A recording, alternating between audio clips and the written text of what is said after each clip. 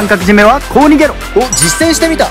ということでまずは解説動画をご覧ください。どうぞ。やることは一つ。三角を組まれたら両足を相手の胴体の上で組む。そのまま胸を張るように頭を上げていくと簡単に抜けられる。ということでやっていきましょう。まずが僕がトップから仕掛けていきますね。ここでパスガードを狙いますがここで三角に入る。これね越えようとして足がね出てる。んですよここで防がれて三角の形を作られてしまいました満面の笑みがムカつきますよね。でここはねまずはね逃げるというよりも何もされないっていうことでねベースを張ったりしてしっかり防いでいきます。そしてここで狙っていくんですがこれですよ。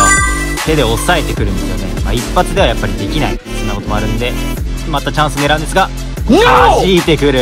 非常に腹が立つ。ね、やっぱね一発でいけることも少ないですからね。まずは何もされないためにこれね胸を張ってる状態ですね。ここからチャンス狙って仕掛けていきました。ここでねさっきね解説したやつはねしっかり入ってくんですがここでも一発ではいかず足感とかを狙ってきてるんですよねこれね。アンクルホールドだったりねこれまたねこっち側の足狙ってきますね。はいこれアンクルですね。狙ってくるんですよ。で隙を狙ってここ隙間できたからようやく腕を入れて逃げることに成功しました。これでトップを取り返すまあバックサイドバックみたいな状態ですね。これでエスケープ完了です。